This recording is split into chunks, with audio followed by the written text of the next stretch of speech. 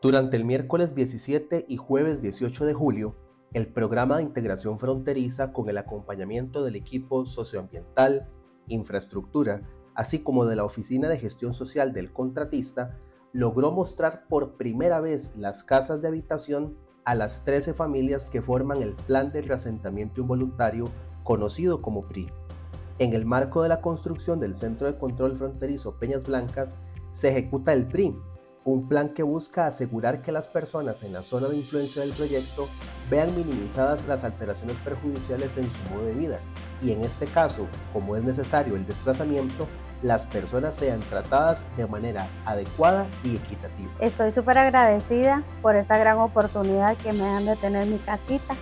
Contentísima, agradecida primeramente con Dios y con ustedes de los del proyecto por esta gran, gran bendición, porque es una gran bendición súper contenta con el espacio de la casa,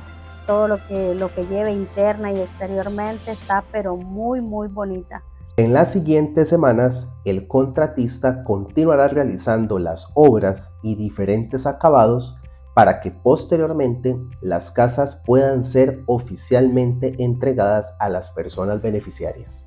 El plan de reasentamiento involuntario cumple con el marco jurídico nacional y con la política operativa 710 del Banco Interamericano de Desarrollo.